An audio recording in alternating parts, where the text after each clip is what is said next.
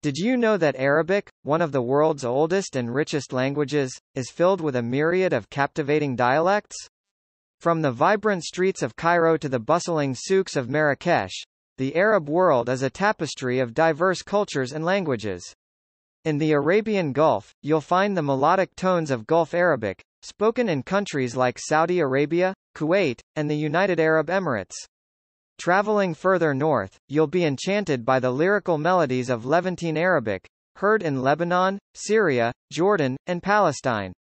Venture to Egypt, and you'll discover the charm of Egyptian Arabic, renowned for its unique pronunciation and expressive nature. In the enchanting Maghreb region, Morocco, Algeria, Tunisia, and Libya each boast their own distinct flavors of Maghrebi Arabic. Iraqi Arabic, with its rich history and intricate nuances, paints a colorful linguistic landscape across the Mesopotamian land. The land of Yemen showcases the beautiful Yemeni Arabic, with its poetic expressions and regional variations.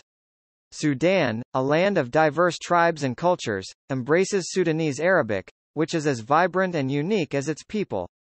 These are just a glimpse of the captivating Arabic dialects that unite us all, celebrating the richness of our shared heritage. Join us in exploring the enchanting world of Arabic dialects. Let their melodies inspire you, their expressions captivate you, and their diversity bring us closer together.